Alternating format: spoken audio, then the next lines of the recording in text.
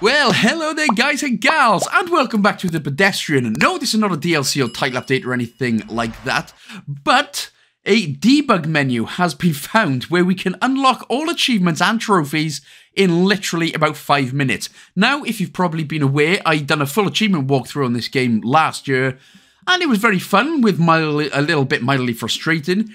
So just to piss us all off, we have found a developer's debug menu which can get it done in five minutes. Now, this was originally found by Leo V over on PSN Profiles, so a big shout out to them. And also for Irihuto R48 for putting up in the True Achievements forum as well.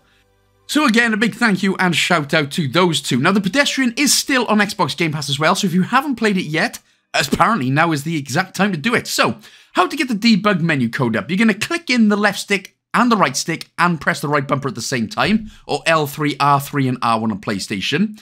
We're only going to be messing about with three buttons. Now, the third on the very left-hand side, the third row down where it says lobby, um, you can press the A button to change it, but we'll leave it on there. And the one underneath that, we need Warehouse Trans 4. So Warehouse Trans 4, press the A button to change it, and then click on Reload Game.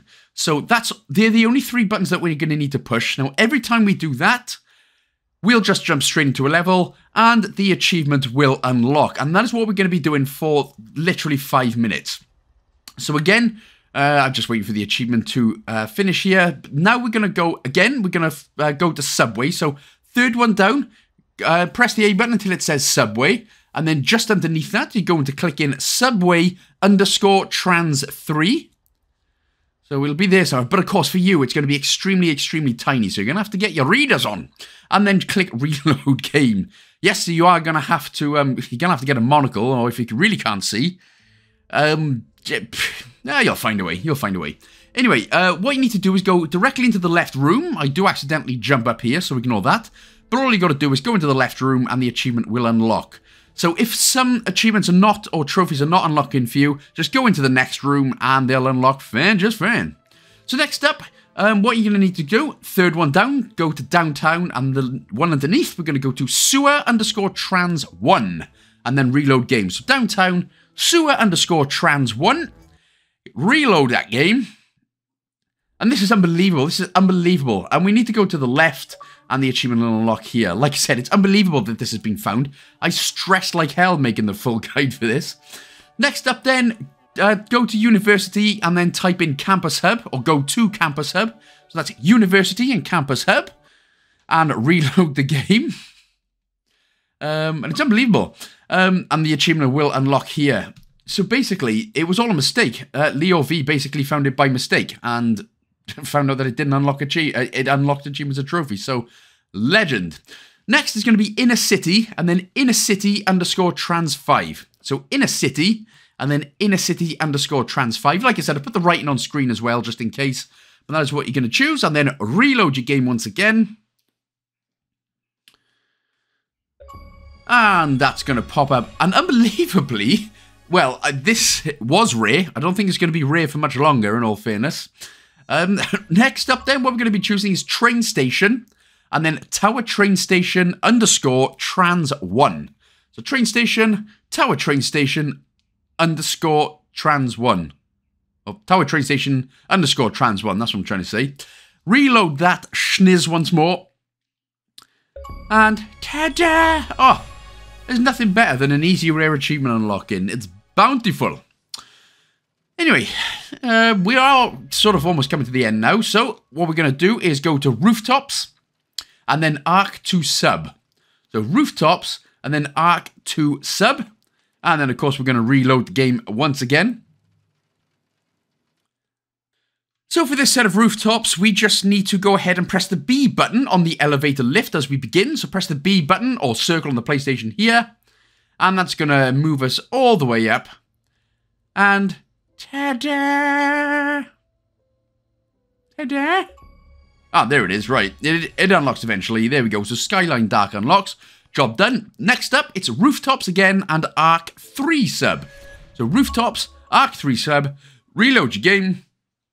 And again, we're just going to need to do a tiny, tiny little bit of movement. So when we begin, we're going to jump up, jump up, go to the right, drop down with down and B button, go to the left, And the rooftop cake achievement should unlock there. Oh, skyline cake, sorry. Skyline cake, well, it's close enough. Right, lastly, well, second to lastly, we're going to type in finale and then main elevator. So that's finale and main elevator. And then all we're doing here is just walking to the right and it will unlock again. Unbelievable stuff! Oh, oh wow, what a start of the weekend. Right, finally, we're going to type in apartments and then apartment. So apartments and apartment. On PlayStation, I think everything might look um, actually as it's supposed to, but on Xbox, the only things that are here are the main objectives. So luckily, you don't get too lost. So you need to press the uh, B button anyway. Uh, that'll pop up our thing. We're going to head to the left and you can see like a little switch on the wall. So press the B button on this switch. Don't worry, you shouldn't fall down or anything like that. So you should still be good. But it does look creepy, doesn't it? Turn directly around, go straight in front of you, and you can see the floppy disk on the, oh goddamn, on what's supposed to be a bed. Turn around, press the B button here to pop it in the computer, and that will come up with this screen. We can press the B button now to back out, and then just turn around. Once that is done, and you see a picture of the oith, turn directly around, and you can see this little cabinet. So we're going to press the B button again here to open it up.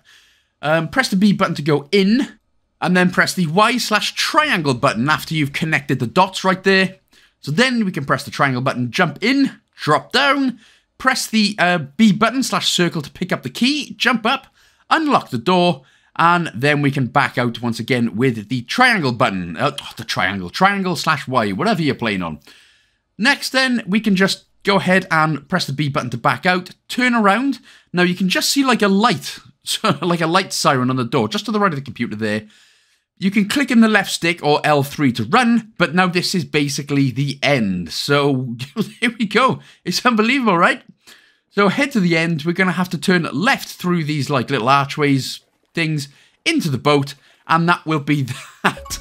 So, if you haven't managed to play the pedestrian for whatever particular reason, apparently, like I said earlier, now's the time to get yourself a nice easy five minute uh, 1000 or 1000 or platinum.